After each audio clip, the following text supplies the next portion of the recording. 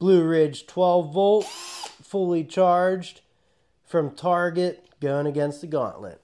Two and a half inch wood screws.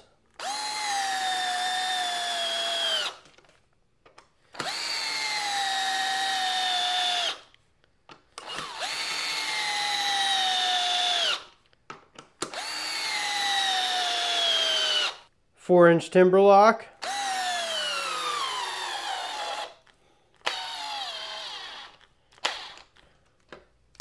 Six inch timber lock for fun.